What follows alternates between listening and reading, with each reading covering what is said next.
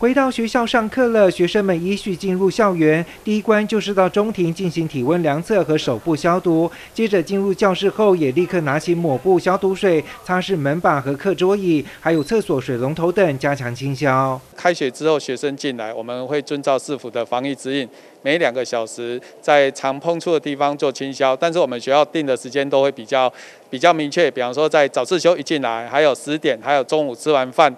那还有下午两点放学前，所以我们一次可以做一天可以做这几次的清消。由于高雄市最近还是传出新冠疫情，国小延后开学，但国高中仍如期开学。左营高中不敢大意，备足所有防疫物资。除了市府教育局分配的物资之外，左营国中也在家长会的协助下增购物资，让学生能够随时取用，做好清消工作。消毒水是每天无限量供应，只要学生。或老师觉得哪边需要消毒，就直接过来这边学务处前面取用。这是每个班级都有的一个防疫盒，里面有额温枪，还有酒精以及漂白水，还有备用的口罩。啊，所以所有所有的防防疫物资如果有什么欠缺，我们在第一时间都能够掌握。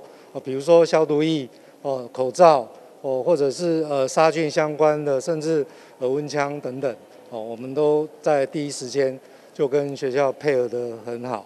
为了确实掌握学生的身体状况，校方还为每个班级制作卫生健康班级手册，记录每个人的体温状况和防疫物资申请情形。在教室上课时，学生们也都戴上口罩，保持教室通风。但第一天上课，仍有少数同学请假没有到校。初步掌握的话，目前每班都已经都到校。那除了少数几位因为生病，那落实生病不上学的原则。所以大概十十几位的学生没有到校，那这个部分我们都已经有联络到家长了。我们全校大概一千八百位，那今天到校的话，大概是百分之九十九点九五左右。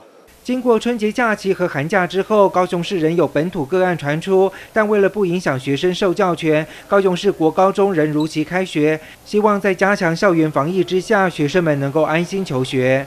记者潘志光、赖昌邦高雄报道。